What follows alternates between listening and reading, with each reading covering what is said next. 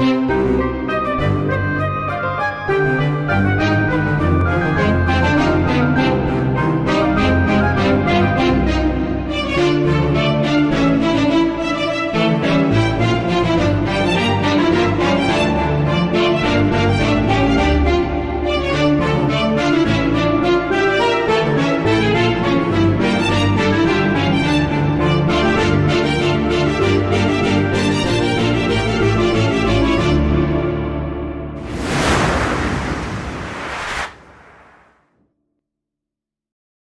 Bienvenidas, bienvenidos a una emisión más de Cultural Derecho. Mi nombre es Diego Guerrero y el día de hoy vamos a hablar de una obra de 1947, me refiero a La Peste, y que se encuentra muy vigente por todo lo que estamos viviendo y para ello me acompaña la doctora Guadalupe Fernández Ruiz. Doctora, un placer tener el día de hoy aquí en Cultural Derecho.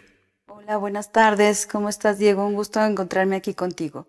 Al contrario, el gusto es mío y además con este mural tan hermoso, precisamente en las instalaciones del posgrado de la Facultad de, Derecho, precisamente con la jefa del posgrado. Y me gustaría que nos platicara sobre el autor y la obra, una pequeña reflexión en torno a una introducción de la misma. Fíjate, Diego, que el autor de la obra es Albert Camus.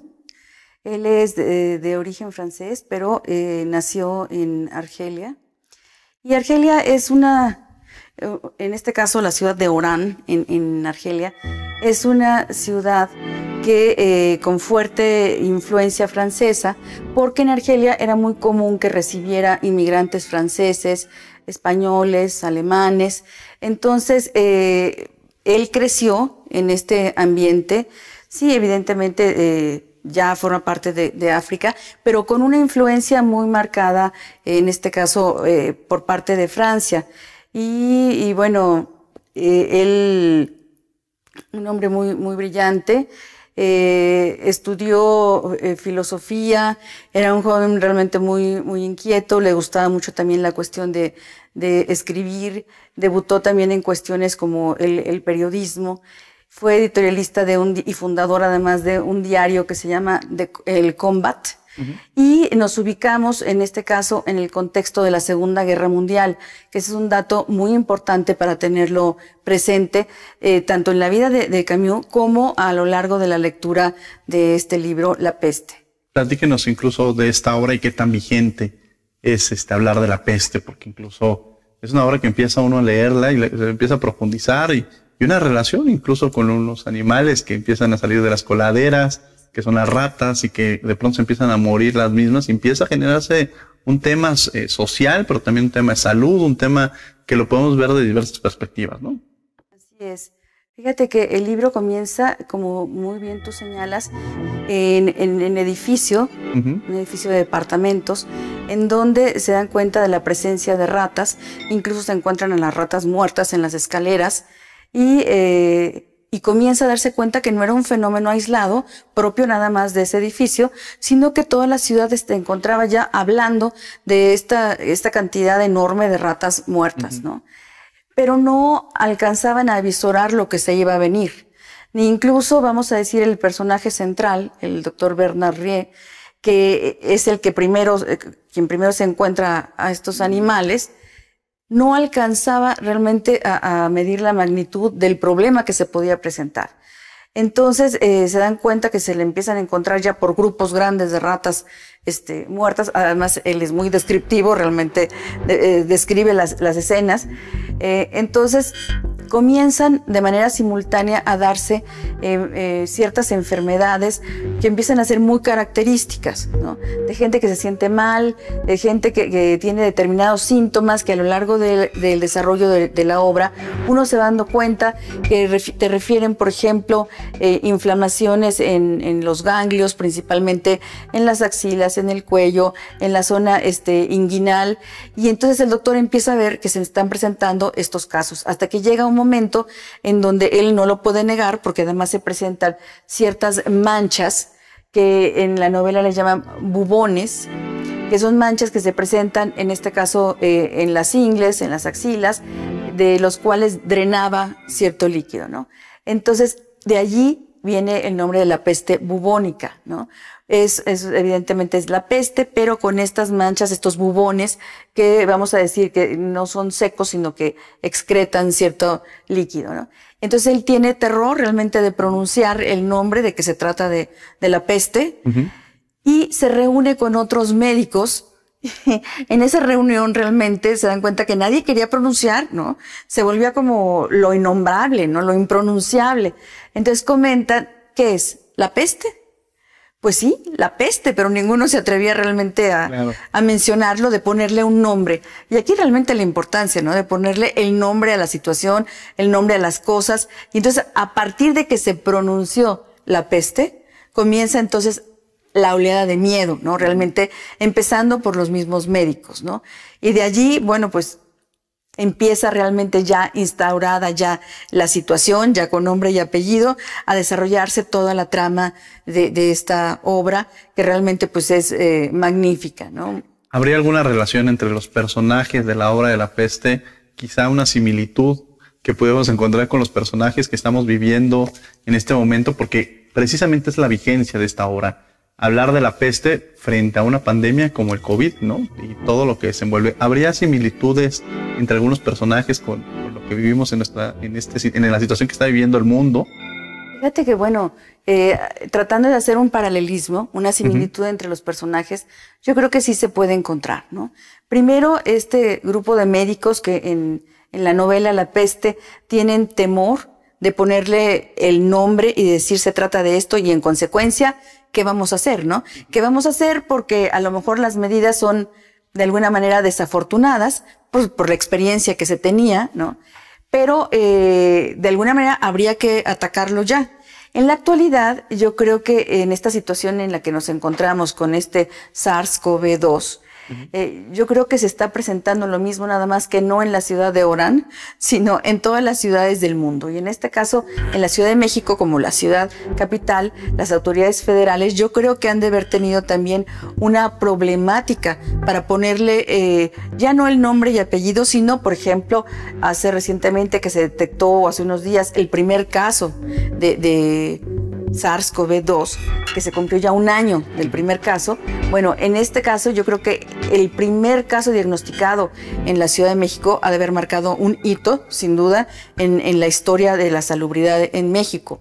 Y en este caso, bueno, ha jugado un papel, vamos a decir, este, o al menos el papel que, que debiera de haber, eh, haber realizado el Consejo de Salubridad General, ¿no? Entonces, en este sentido, es la máxima autoridad, es un órgano plural, encabezado por el secretario de Salud y otras a, autoridades, eh, incluso está el secretario de Hacienda, está el rector de la universidad y evidentemente eh, distintos miembros de la Academia de Medicina, de Cirugía, o sea, es un órgano plural. Entonces, este órgano, el Consejo de Salubridad General, pues es el que toma las determinaciones a seguir, el que crea esta guía para, eh, de pasos a seguir en la cuestión de, de, asignación de recursos vitales y demás, ¿no? Pero en, en esta ciudad, hablamos de Orán, es una ciudad pequeña, relativamente pequeña, nada comparada con la Ciudad de México, y menos en este 2021, evidentemente las medidas las tomaba eh, el, el, prefecto, ¿no? Una prefectura. Hay que recordar que en ese momento era, había varias ciudades de Argelia que dependían de Francia, entonces eran departamentos, vamos a decir, y eh, la prefectura, ahí lo menciona nada más el prefecto, el prefecto era quien tomaba ese tipo de decisiones, pero sustentado con los médicos. Entonces sí vemos, por ejemplo, el papel de las autoridades, el papel en este caso de las autoridades aquí a nivel eh, Ciudad de México, para toda la República, sí se puede establecer un, un paralelismo. Y bueno, finalmente humanos. Yo creo que en este caso como humanos, el reconocer una epidemia, en este caso una pandemia, porque es a nivel mundial, yo creo que no es una situación nada sencilla, ¿no? Claro. Así como fue para un momento dado estos médicos ponerle el nombre de la peste. Claro, y me gustaría también la, la relación que existe con la conducta que ha tenido la sociedad en ambos casos, ¿no? Cómo empieza la propia sociedad a actuar frente a una peste y frente a una pandemia que estamos viviendo. Pero bueno, vamos a un corte, no se vayan, estamos en Cultura del Derecho y regresamos aquí con todos ustedes.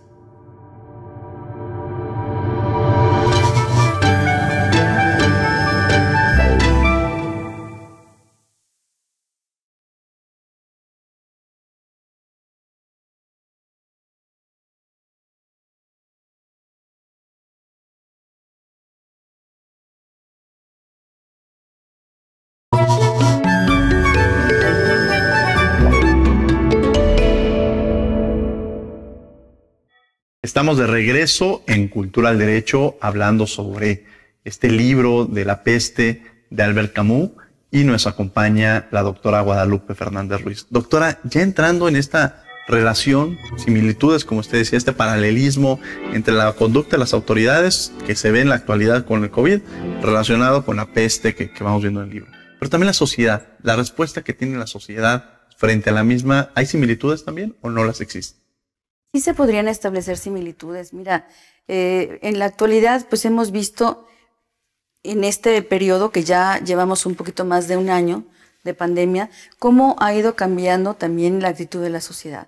Primero, eh, fue como volcarse en las tiendas y tratar de este, acaparar y comprar este jabón, papel higiénico, eh, todo lo habido y por haber, ¿no? Sin saber realmente si iba a haber escasez o no. Ahorita yo creo que eso totalmente está superado y a lo mejor todavía se, se da cierta escasez en algunos medicamentos, ¿no? Pero vamos, ya no constituye la principal angustia. Yo creo que ahorita la principal angustia es la cuestión del contagio, ¿no? Eh, aunque hay gente muy valiente que sigue saliendo, ¿no?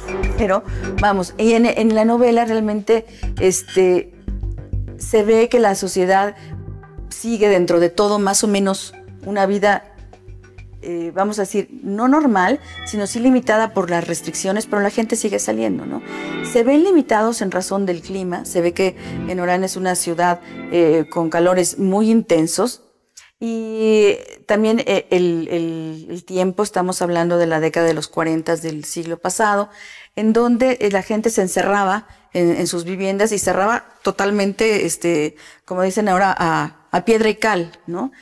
Pero eh, hay que tener aquí cuál es la fuente de infección. En el COVID nos contagiamos simplemente por las gotas de saliva, ¿no? Las gotículas de saliva.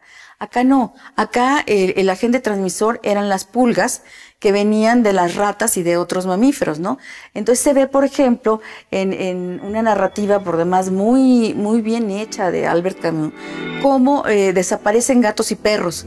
Pues ¿por qué gatos y perros? Pues porque evidentemente los gatos y perros pueden, son susceptibles de tener pulgas y en consecuencia de transmitir a sus, a, sus amos la, la peste. Entonces ahí es muy importante por qué en un momento dado la vida social no se vio tan restringida como se dio en un momento dado aquí en, en, este caso del, del COVID. Y bueno, ya después lo que sí hubo fue una, eh, el número de casos que se presentaron, muy, muy abundantes, y tener 300, 700, no sé cuántos, teniendo en cuenta que es una ciudad pequeña, era un número de casos realmente muy elevado y casos muy, muy aparatosos, ¿no? De estas eh, manchas este, que salían eh, este, los dolores, los gritos, y, realmente los médicos, ahí hay una cosa, no sabían exactamente a qué se estaban enfrentando, que es un paralelismo aquí, no saber a qué se está enfrentando. Pero me voy a centrar en lo que me mencionas, en la sociedad. Yo creo que la sociedad, vamos a decir en este caso de Argelia, concretamente de Orán, no vio interrumpida de una manera tan brusca como se dio aquí en la ciudad, en donde de repente ya no puedes salir, ¿no? Este, tienes que restringir y salir únicamente para lo más esencial. Acá no, aquí todavía podían, posiblemente porque también era más desconocido, no habían hecho la asociación en un inicio de ratas y de enfermedad, sino a partir de que es declarada por los médicos y aún así para muchos todavía constituyó en cierta manera eh, una ausencia de esta asociación. Pero vamos, yo creo que algo tan... Eh, que por la, de suyo la enfermedad los transformara en sus costumbres, no sino fueron transformándose a partir de la escasez, porque la ciudad fue cercada, había toque de, toque de queda, fue cerrada, nadie podía entrar, nadie podía salir y eso evidentemente tenía consecuencias. No podía ni siquiera salir cartas de la ciudad hacia afuera ni de fuera hacia adentro. Entonces estaban totalmente aislados. Entonces en la medida en que empieza a surtir efecto ese aislamiento, sí se dan esas transformaciones sociales en, en la sociedad. Pero antes de suyo, por, por la propia peste, no, a no ser que estuvieran contagiados. Los daños colaterales, podríamos ver algunos daños colaterales relacionados en este paralelismo, regreso en el libro que se dan de la peste, afectaciones como ya mencionó algunas incluso, de que no pueden salir, el toque de queda, también en esta situación que de lo que estamos viviendo en la actualidad. Fíjate que sí, ahorita nosotros este, eh, usamos el, la careta, usamos el cubrebocas, allá no utilizaban eso. Pero utilizaban una cosa que se me hizo curioso, pastillas de menta. ¿no? Entonces las pastillas de menta se escasearon y ya no había, ¿no? Entonces uno dice, bueno, yo ahorita aquí precisamente pues no necesito pastillas de menta, lo que necesito es cubrebocas, necesito artículos de limpieza, cloro, etcétera, para, para desinfectar jabón, este, a lo mejor este, eh, vamos a decir, detergentes más, más fuertes que los comunes y corrientes, pero, pero nada más, ¿no? Aquí yo creo que nosotros sí hemos tenido repercusiones cuando hemos visto, por ejemplo, los hospitales en donde ya no hay cupo para los enfermos.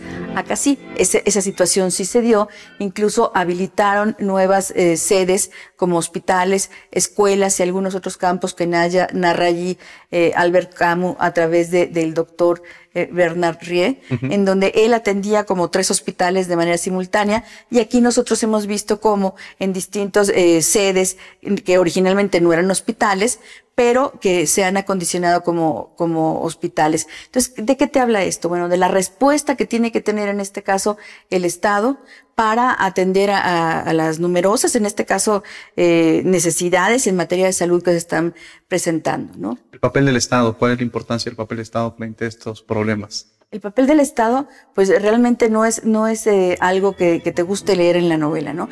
Claro, nosotros habiendo pasado una pandemia de COVID, sí lo entiendes, ¿no? La severidad de las medidas. Ahí hay un personaje interesantísimo que, que es Rambert. Él es un periodista que, eh, francés y que dice, bueno, pero yo no soy de aquí, ¿no? Yo no soy de aquí, yo no soy de Orán. Este, déjenme salir. Y, y la principal motivación para él para salir era que tenía a su novia, a su amada, que estaba en Francia este, y que se le hacía impensable la vida sin ella, ¿no? Entonces, eh, en, en, esa situación, él intentaba, por los medios legales y no legales, eh, poder salir. Decía, bueno, véanme mi situación, ¿no? Entonces, el doctor Riel le decía, sí, sí lo entiendo, pero es que para usted no es importante, eh, vamos a decir, como el aspecto amoroso. Sí, sí, para usted no es importante la felicidad. Sí, sí lo es, sí lo es, pero usted tiene que tener, dice, aquí no hay nada más que peste, ley, y, punto, ¿no? Entonces él trata de, de, seguir buscando y se adentra en el, ahora sí que en el bajo mundo del contrabando para tratar de poder salir, ¿no? De la ciudad. Pero fíjate que, bueno, me voy a desviar un poco la pregunta, pero te adelanto rapidísimo. Sí, sí, sí. Este, después de haber convivido tanto con el doctor Rie y otros personajes que la verdad son, eh, te atrapan, son muy interesantes, te das cuenta que la obstinación que tenía Rie eh, que, tenía, perdón, que tenía eh, eh, Rambert por salir, que era enorme, la ves como de repente de manera inesperada se transforma. ¿Por qué? Porque producto de la convivencia con la abnegación, vamos a decir, el, el estoicismo del doctor Rie y de otros personajes que están allí, dice, es que no puedo dejarlos. No puedo dejarlos, no, me voy a, no voy a disfrutar mi felicidad si yo llego con mi amada, sabiendo que ustedes se quedan aquí, pues combatiendo con la muerte, ¿no? No, no voy a poder ser feliz. Dijo, entonces yo me quedo. Y ahí uno de los personajes le dijo, es que tú ya eres de aquí, ¿no? Entonces trae algo, algo realmente muy hermoso porque te habla también mucho de solidaridad, de lealtad. Trae realmente mensajes muy importantes la peste dentro de lo, esta, esta, crónica, como le llamaba Camus, más que novela, dentro de esta crónica dolorosa. O sea, no es un libro, este, vamos a decir, me voy a, aquí a la playa a lo mejor y con una bebida rica aquí. No, realmente es un libro que te sí lo puedes tomar con una cerveza, con un refresquito, con lo que pero ciertamente te deja mensajes y te toca, y sobre todo en este momento de la pandemia para nosotros, sí te toca fibras realmente sensibles, ¿no? Pero es disfrutable dentro de todo y muy aleccionador. Por muy aleccionador y ahorita nos hablaba una serie de valores con los que quiero regresar, como la empatía, la solidaridad, estos mensajes que nos dejan estas lecturas. No te vayas, estás en Cultural Derecho, regresamos.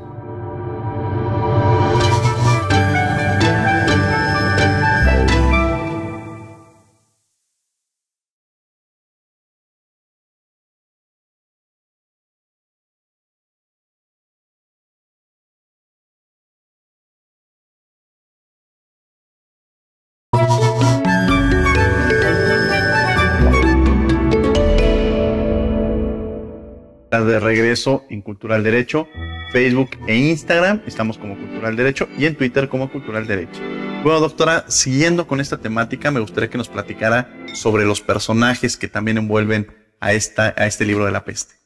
Fíjate, Diego, que tiene personajes, eh, eh, te diría muy interesantes, muy hermosos. Ya no quiero decir interesantes porque ya lo dije como cinco veces. Pero está el propio eh, Bernard Rie, que es el médico, es el, el protagonista. Y bueno, Bernard Rie es un personaje muy abnegado, muy entregado a su profesión. Eh, no siente el cansancio, aunque, lo, aunque esté realmente saturado después de más de 20 horas de trabajo. Eh, sufre con los pacientes.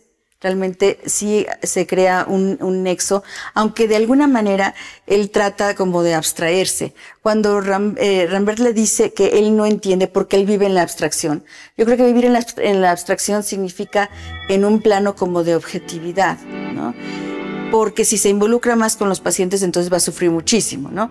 Pero está también un personaje hermoso que es Grant, y yo creo que le viene muy bien el, el nombre, Joseph Grant, que es un, empleado del ayuntamiento, un empleado auxiliar del ayuntamiento, que aparentemente tú dirías es una persona gris.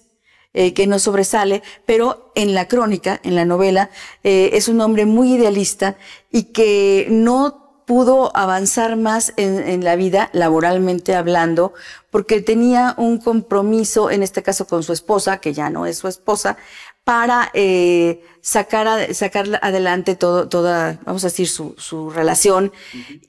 Y es una persona de lo más noble que te puedas imaginar. Entonces, eh, finalmente parece que va a morir de peste, pero no, no ¿Qué lo salva? No se sabe, ¿no? Está un personaje muy interesante también que es eh. Él es un, un, intelectual que en todo aparece así de repente en la novela sin que te lo hayan presentado, de repente hace aparición ahí, así lo coloca Camus. Y entonces eh, él es un, un, intelectual que ha basado toda su vida, vamos a decir, un poco eh, de cara a la muerte, luchando contra la muerte, pero no te lo dice, eh, sino hasta el final, que dice, bueno, ¿y usted no me va a preguntar quién soy yo? Uh -huh. Entonces le dice, soy hijo de, de, un abogado, entonces yo no fui como usted, o sea, yo, porque Rie había sido un hombre de una familia muy modesta, pero mi padre era abogado, lo cual tenía yo la posición asegurada, hasta que lo vi que quería la muerte para un condenado a muerte en un juicio. Eso marcó realmente un, un antes y un después en la, en la crónica. Y eh, a, partir de ahí él se va un poco como de rebelde, uh -huh. tratando de salvar los insalvables, ¿no? Entonces él está allí porque era el medio, eh, vamos a decir, eh, propicio para que él estuviera, este medio de, de peste, ¿no? Y finalmente Rambert, del que ya hablamos, ¿no? Yo creo que son los personajes claves. Doctora, ¿y alguna reflexión que nos deje esta obra? Yo creo que son paralelas y, y con la misma, el mismo nivel de intensidad. Creo que, que, el COVID ha hecho estragos, estragos muy grandes en todos los países, así como en su momento la peste los hizo en Orán. Son epidemias distintas, y aquí simplemente yo te diría, en Orán, de alguna forma, eh, Albert Camus está tratando también en una alegoría de plantear la situación sufrida, eh, o bueno, que infligieron los nazis, en este caso, por ejemplo, en Francia, ¿no? Eh, refiriéndose como la peste también, ¿no? Y esta transformación en la vida. Un poco a lo mejor sí había ocurrido peste 100 años antes en Argelia, pero en ese momento no estaba ocurriendo. Y se cree en buena medida que fue utilizada esta novela para uh, referirse también un poco a la peste como esta situación ejercida por los nazis. Aquí, en nuestro contexto actual, vigente. El COVID se trata de un virus totalmente, eh, vamos a decir, desconocido, producto sí de un coronavirus, pero un coronavirus mutado, ¿no? En donde realmente se siembra también el miedo, la incertidumbre, eh, en donde miles de gente se han debatido entre la vida y la muerte, muchos han perdido la batalla, eh, pero yo creo que cada una ha tenido lo suyo. No te puedo decir si la realidad supera la ficción o la ficción supera la realidad. Simplemente te puedo decir que Camus es un buen acompañante para encontrar una empatía entre los que vivían en ese momento eh, la peste y en este caso los que eh, estamos actualmente inmersos en esta pandemia provocada por el COVID. Doctora, muchas gracias por haber estado con nosotros. Ha sido un gusto, Diego. Muchísimas gracias por la invitación. Al contrario, y muchas gracias por ustedes, para haber, por haber estado con nosotros y los invitamos a una siguiente emisión.